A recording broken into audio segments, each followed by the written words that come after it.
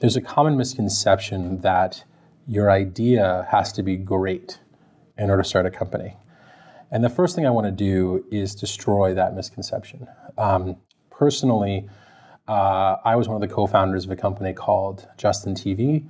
It later became a company called Twitch and sold to Amazon for almost a billion dollars. Our original idea was to create an online reality TV show. Clearly, um, it's hard to draw a line between that and creating a live video site where people watch video gamers and chat with their friends. Um, but that's exactly what it became. And so don't fall into the trap of thinking that your initial idea has to be great by any definition. Um, this is what you should think about instead. My first advice is to start with a problem. I think that starting with ideas is tricky because immediately people want to grade your idea. It's a lot easier to start with a problem and to think about how do you grade a problem. Um, when you think about a problem, you should be asking yourself, do I have any relationship with this problem personally? Is this a problem that I have? Is it a problem that my friends have? Is it a problem that my fam- family has? Is it a problem that exists with work? Is it a problem that's in my community? Oftentimes, having a personal connection to the problem is really helpful for two reasons. One, you can tell whether the solution is even within the ballpark of solving the problem because you've got some connection with the problem. And two, when you're feeling discouraged and the solutions that you're building aren't working, you still have some personal connection to the problem that sees you through until you find a solution that does work. So that's the first place I would start. Thinking about problems. And I think a lot of people keep little idea books with startup ideas. I think they'd have a lot more success if they kept little problem books and wrote down notes on the problems that they encounter on a daily basis or that their friends complain about, their family complain about.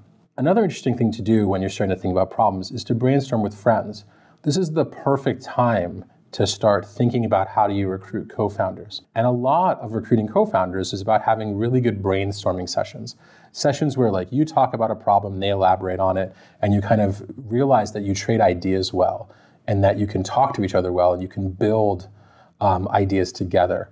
And so um, I really advise when you're doing this thinking about problem, do it with some friends, friends that you might want to create a startup with one day. Once you find a problem that's interesting enough to start pursuing further, the next question I would ask myself is why are you uniquely qualified to work on this problem? Now, by qualified, I don't mean in the classical resume sense, like, oh, you've had 25 years experience in this area or something like that. But what I do mean is that, like, is there some angle on the problem that you understand that you don't think others understand? Is there some way of attacking the problem? Is there some perspective on the problem? Is there some personal experience with the problem that you have that you don't feel is generally used or understood in other solutions to the problem? In this phase, it's often helpful if you're solving a common problem to look at some of the people who've tried to solve the problem before, look at some of the products that are trying to solve the problem or have failed to solve the problem, just so you can get a basic under understanding of what other people thought their unique insight was and whether it was the same or different than yours. Um, this is kind of your gut check. Hey, is this a right fit for me? The next step is to start thinking about how do you want to build your MVP, your minimum viable product. What's the first product? What's the first solution you're going to build and release to your users to see if maybe you can try to help them solve this problem? The most important thing to think about your MVP is don't fall in love with it your MVP is most likely not going to solve the problem or is going to solve the problem very poorly.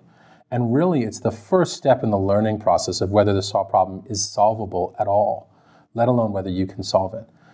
A lot of people fall in love with their product and are not in love with their problem or their customer.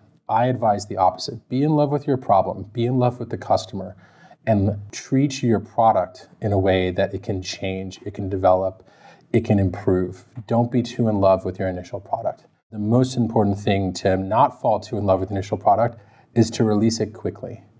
Oftentimes, an MVP can be built and released in days or weeks. Um, it's not going to be perfect. It might not be something you're proud of, but it can be the beginning of learning about whether or not you can actually solve the problem. The last thing I would consider once you have an MVP is be very careful who your initial users are. I actually believe that your initial users should almost be handpicked. Um, but certainly you should have a strong opinion about who your initial customer is. And you shouldn't try to solve this problem for someone who, one, isn't willing to try a startup, or two, the problem you're trying to solve is not a really important problem in their life. So your goal here with your MVP is not to see how many people want to use your product. It's to see whether for if for any group of people, does this actually solve the problem? For any group of your customers, excuse me, does this actually solve the problem that you're trying to solve? And so the best startups actually very heavily filter the people who are able to use the initial product um, and make sure that they're the right type of initial customer.